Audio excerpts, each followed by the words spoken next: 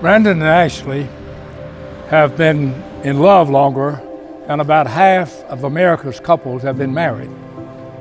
And so it was that during that entire ninth grade year, when he was 14 and she was 15, and both of them were going on 18, that he looked into those sparkling blue eyes with that cascading brown hair and said, I love you. And she looked into these dark Jordi eyes with that coal black hair and said, I love you too.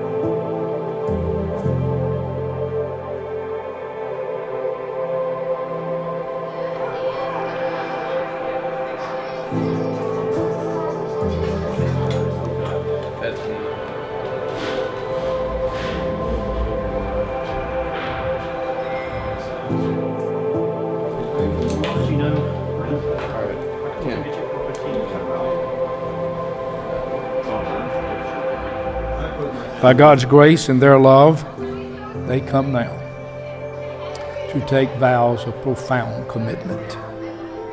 They will pledge to walk hand in hand and heart to heart.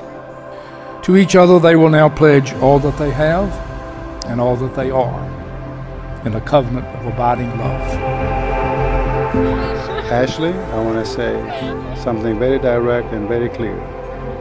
We love you so much and we love your family, all of your family, very much and dearly. You are an amazing person. My son is very lucky to have you, and I think you are very lucky to have him. You're very special, and he is very special.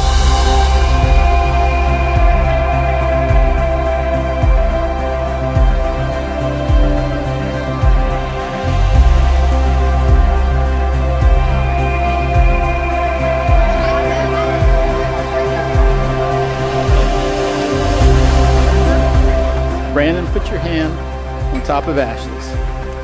Now, your hand on top of Ashley's. And Brandon, it will go much better for you if you realize and accept that at this moment will be the last time you ever have the upper hand.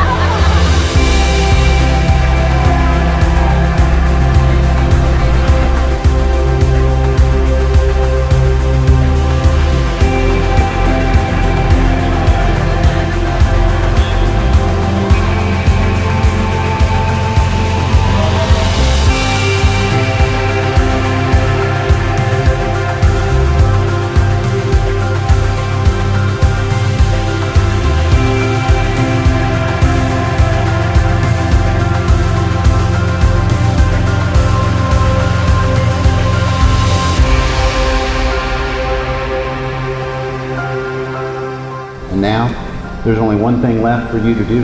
You may kiss your bride.